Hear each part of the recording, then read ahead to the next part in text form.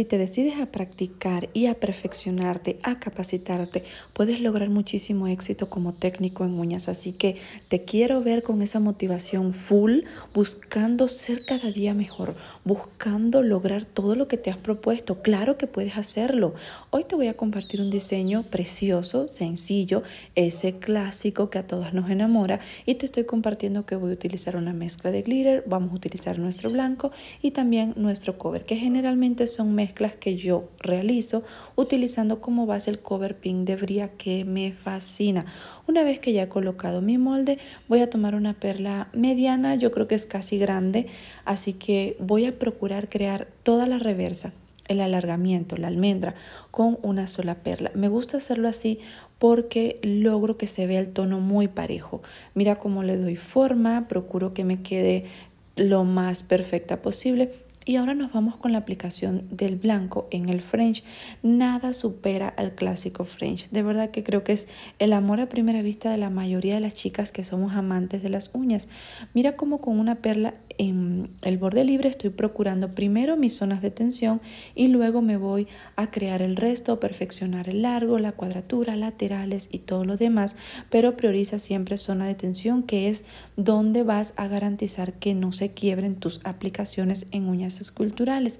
Mira qué bonita forma ya le fuimos dando.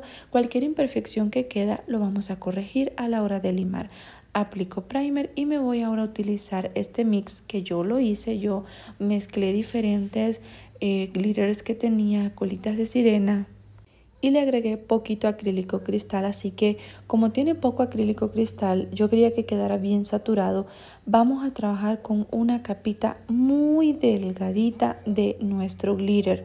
Antes de encapsular voy a colocar la pinza para ajustar y darle un poquito más de curvatura que se vea más estilizado el resultado y ahora sí, ya podemos encapsular. Aquí sí, con el encapsulado tú le vas a dar la resistencia, el grosor, vas a cubrir toda la decoración para que cuando tú limes el glitter se quede como protegido y pues no te pases llevando la decoración que trabajaste anterior.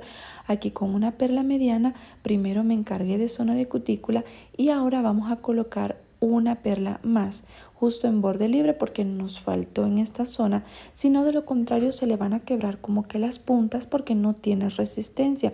Así que después de haber hecho toda esta aplicación, venimos ahora a la parte más satisfactoria. Esta parte me derrite, de verdad que me encanta cuando llego a la hora de limar. Sobre todo a veces cuando las clientas miran que la aplicación está quedando como que, uy, esto no. Y cuando empiezas a limar y ya se ve esta perfección, esta belleza, que se estiliza el resultado. Esto es una satisfacción que solo las que aplicamos uñas podemos saber. Mira ya cómo se ven después de haber hecho nuestro limado, ya lucen preciosas. Así que limpié sus manos, lavamos y ahora ya podemos colocar el top. Nada supera el clásico French. No sé si tú estás de acuerdo. Así que después de haber llevado a lámpara el top, ultimamos detallitos con cristales pequeños, aquí si es a tu gusto o la decoración que escoja tu cliente y después de este paso a paso mira el resultado que obtuvimos el día de hoy.